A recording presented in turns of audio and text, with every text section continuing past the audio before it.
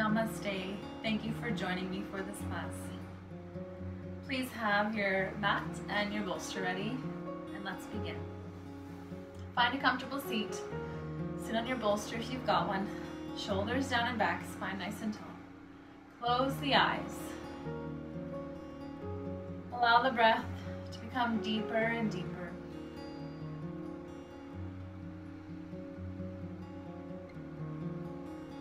Allow it to transport you to the right here, right now.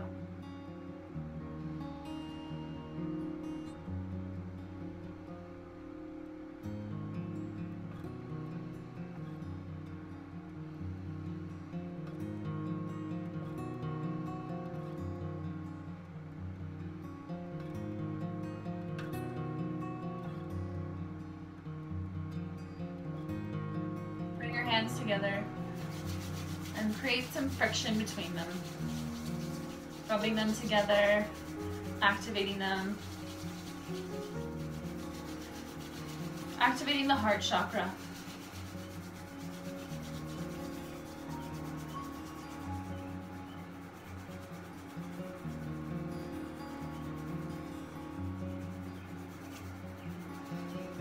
Rubbing them together however you'd like.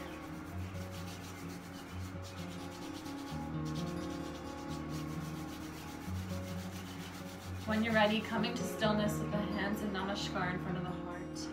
Beginning the class with three oms. Inhale deeply. Breathe.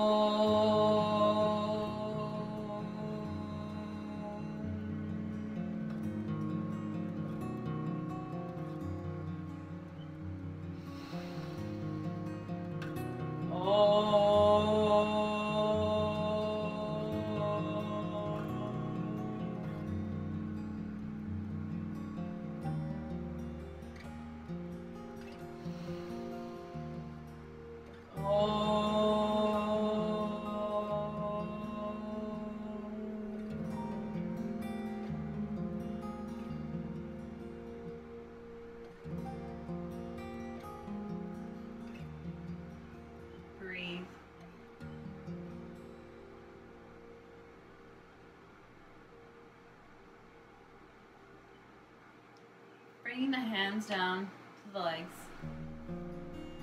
Eyes remaining closed.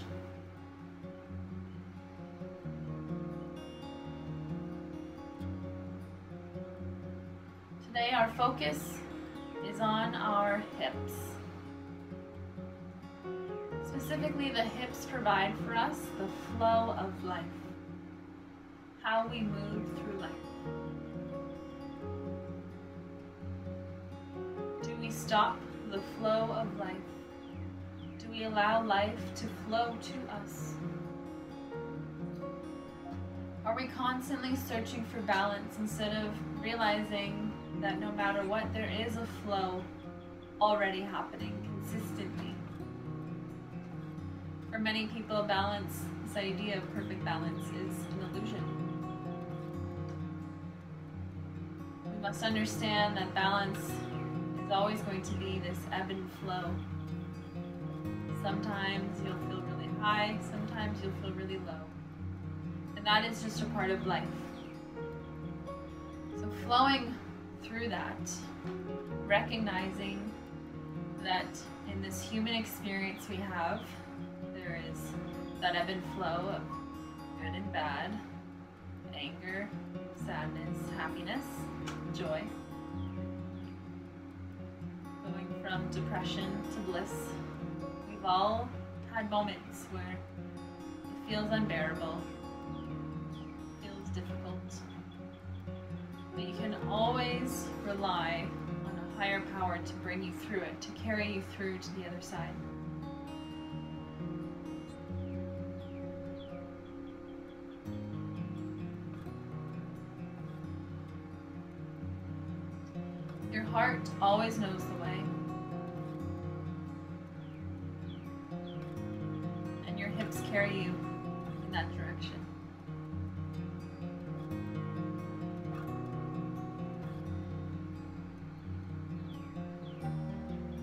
When you're ready, slowly open the eyes and come into the space. We're going to start with a Kriya. It's a really fun Kriya. Most people who do it are a little scared at first, but once you go full all into it, you'll find that it's very liberating. Okay, so I encourage you to dive in and just go for it. Okay?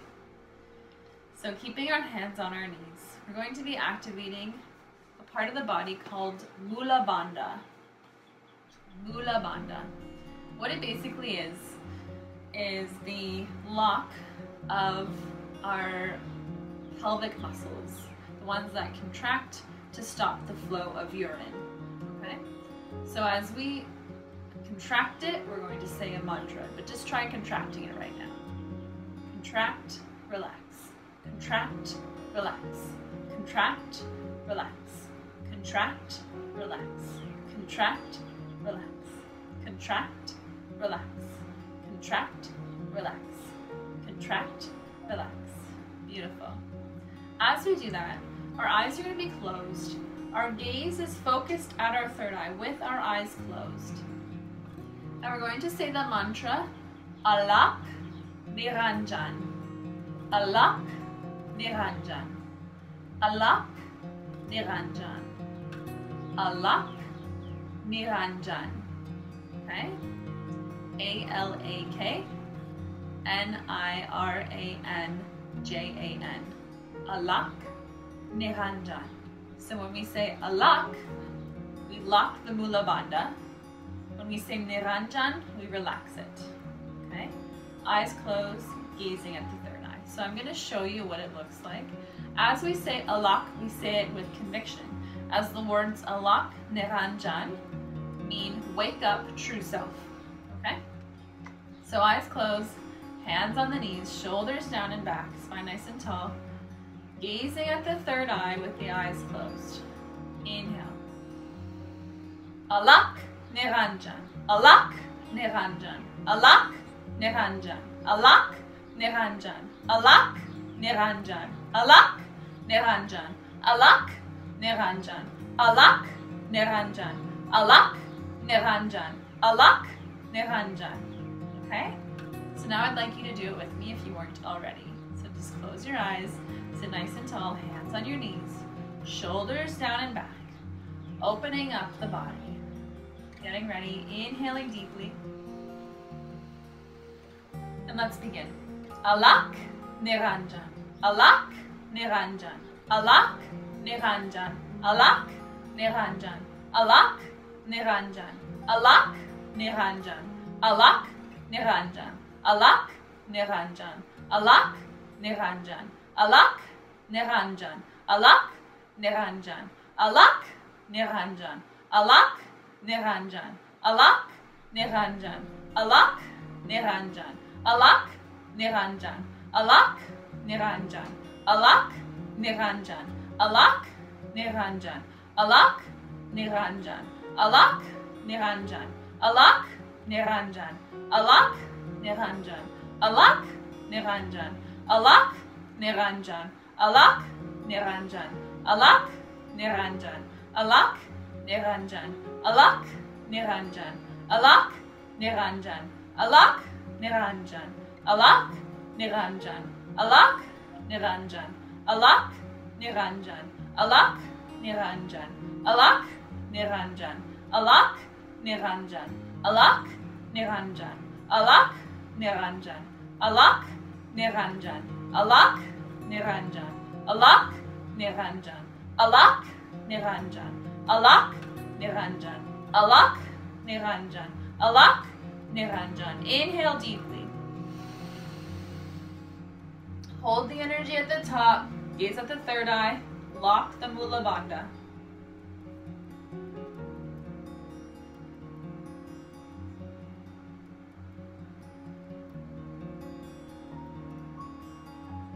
Slowly exhale.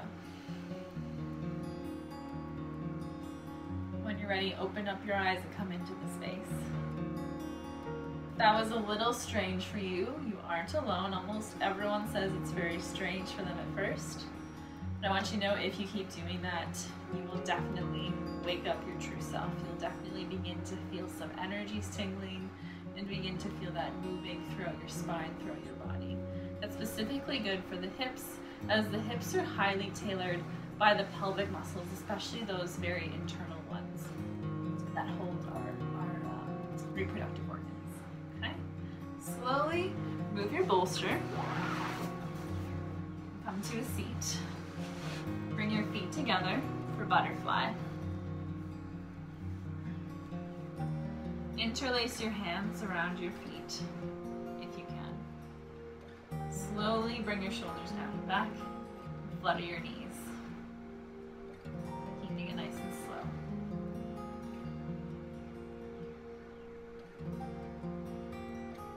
Allowing some movement to come to that inner leg. Often very, very tight for most of us.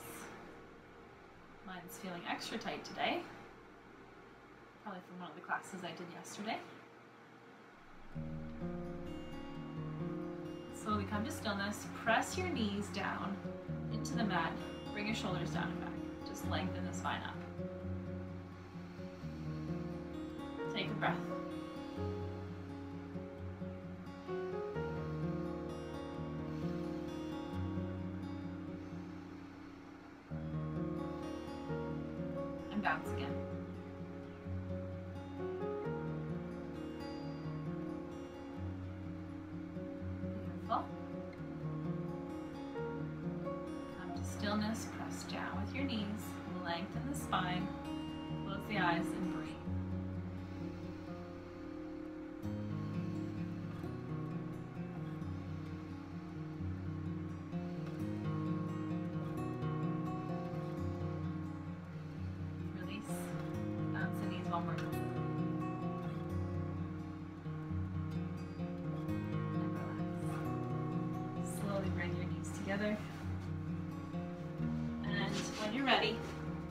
At the top of your mat in mountain pose. Tadasana. Starting with our sun salutations.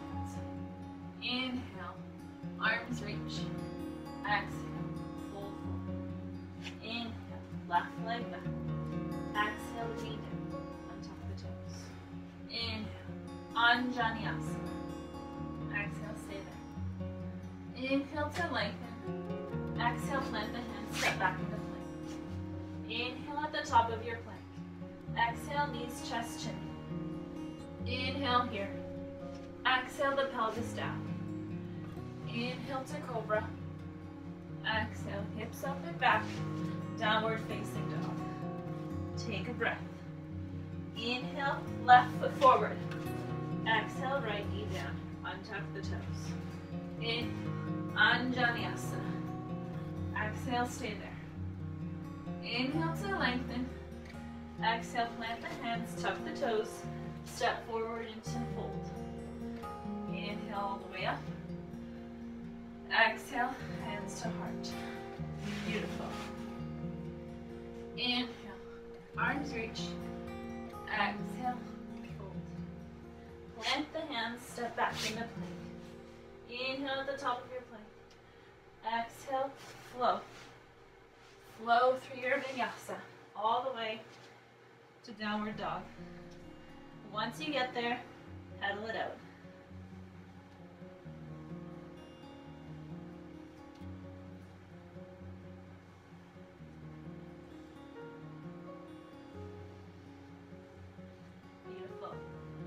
Come to stillness. Take a breath. Inhale, the right leg up. Allow the hip to open. Opening it right up. Bring your hips in a circle, circulating that knee.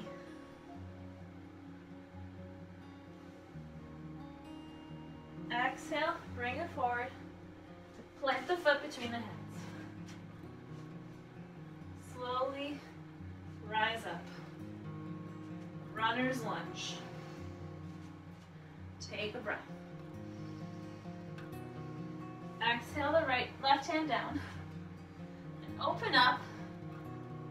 right hand. But allow your hip to open up with it if you can. So it's not really in alignment, it's kind of out of alignment, but it's opening up your hip a bit more.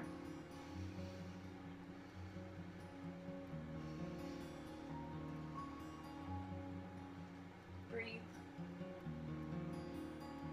Slowly come down. Plant the hands. Step back and come straight to downward dog. Take a breath. Inhale the left foot up. Open it up. Make some circles with that knee.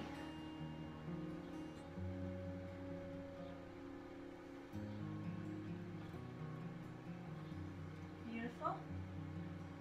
Slowly bring it forward step it forward. Slowly rise up. Runner's lunge. Placing your hands on your hips if you'd like. Take a breath. Plant the hand, right hand down. Open it up to the left. Open up the knee if you'd like. And breathe.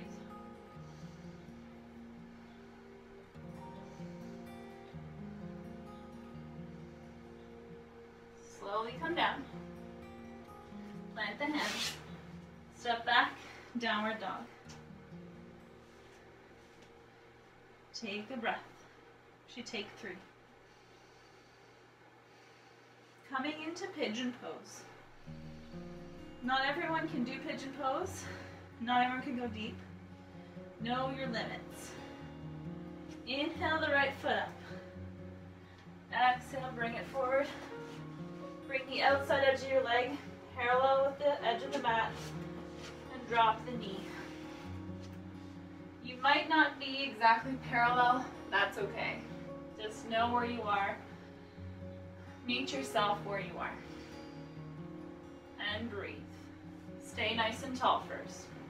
Spine elongating.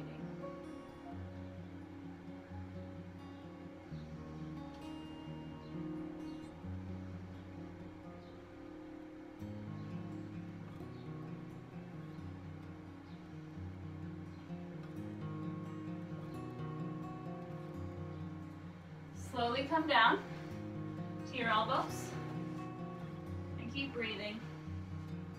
This pose is really good to sit in for a long period of time.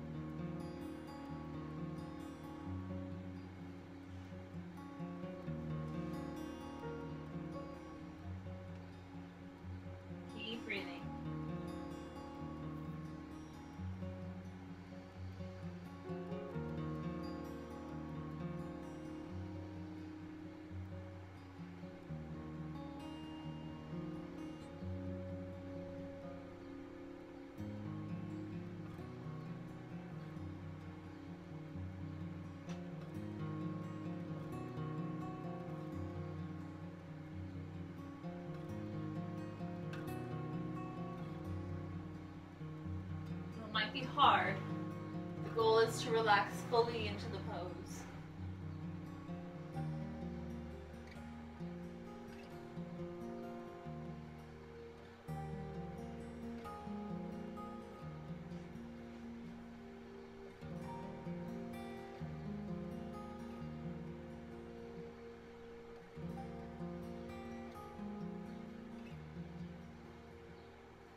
Slowly. Back up to your hands. Tuck the back toe. And push up. Open up the hip again. And bring it down to downward dog. This really changes the flexibility of your hip when you practice it over time. Take a few breaths.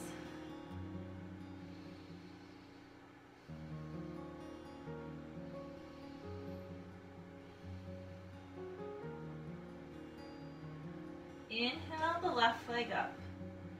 Open it up. Exhale. Pigeon on the opposite side. Staying up. Come to the fingertips if you'd like. Taking your time. Finding whatever variation of the pose feels good to you.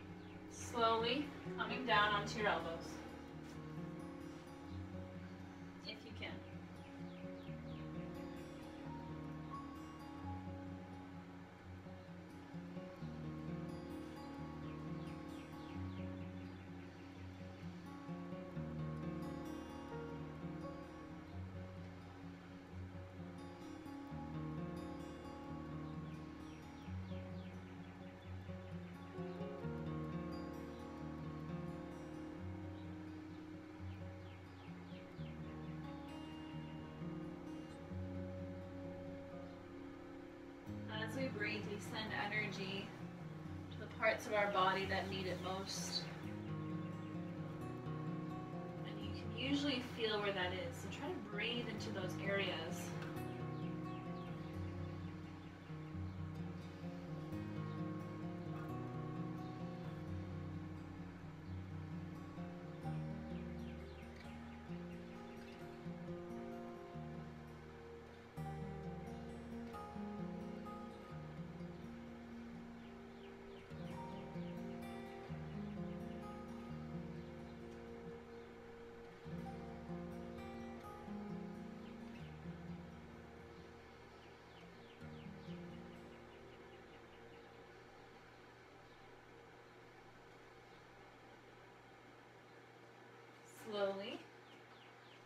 Up to your hands if you're not there yet.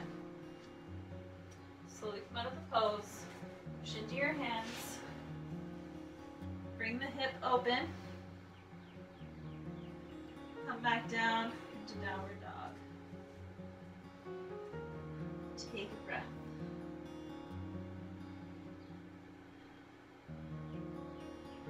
When you're ready, slowly come down onto your knees.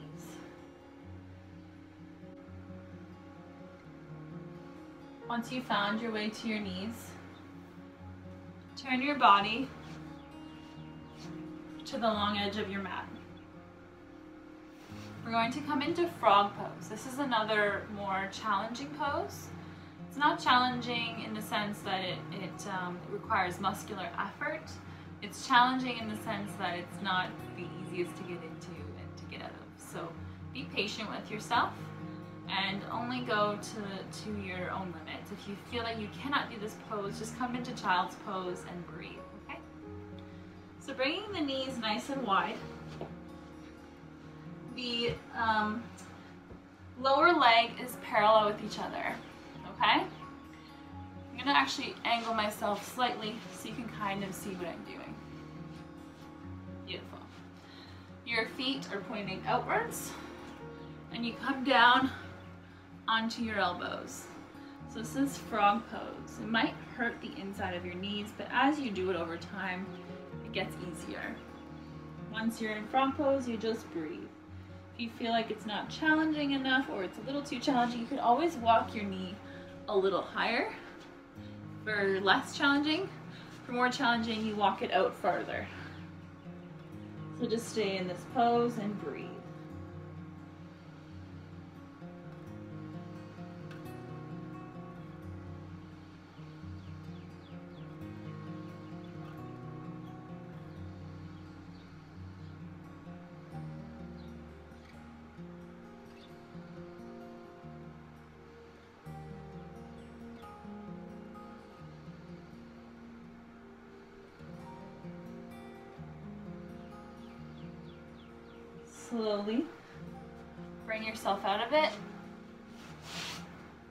Your knees back together.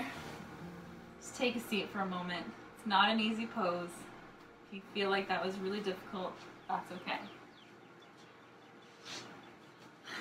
Slowly come on to your back, straighten the legs out, and lower yourself down. Bringing the knees up close to the butt just taking your knees and swaying them from side to side. Allowing the hips to relax.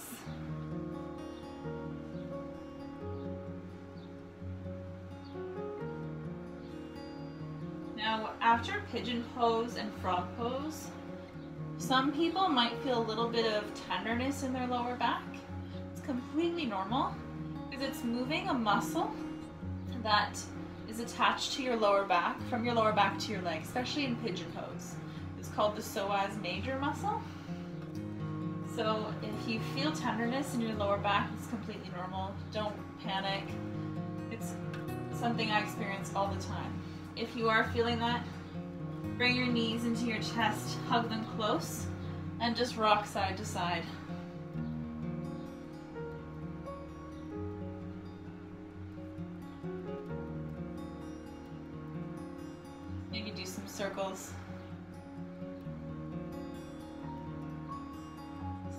Directions.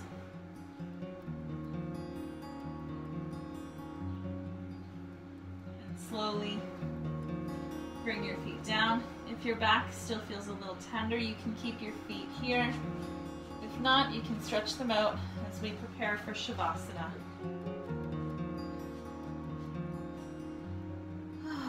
Placing your hands on your hips, giving them some love.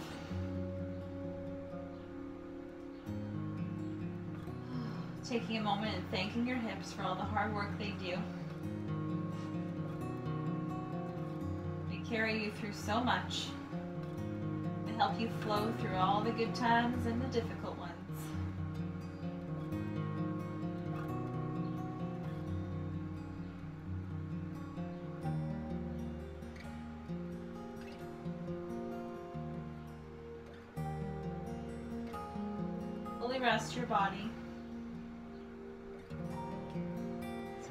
your shoulders, your neck, your jaw, your tongue, your eyes, and your brow. Relax into the mat and enjoy Shavasana.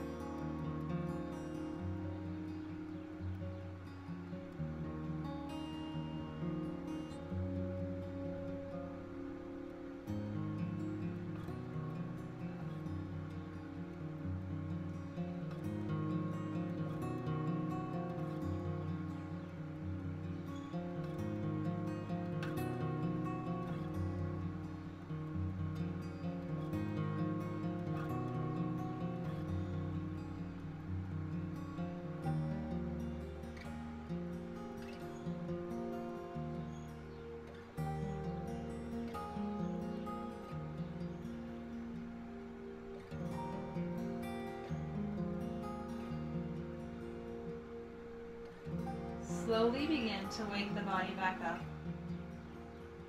Wiggling the fingers and toes. Moving the ankles and wrists. Bending the elbows and the knees. Moving the hips and the shoulders. Swaying your head side to side. Flexing and extending the spine. Feel you need to. Coming up to a seat. Hands in namaskar at the heart. Closing the eyes.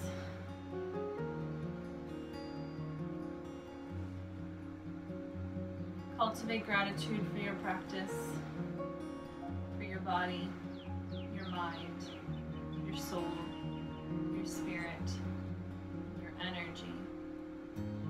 as the Creator.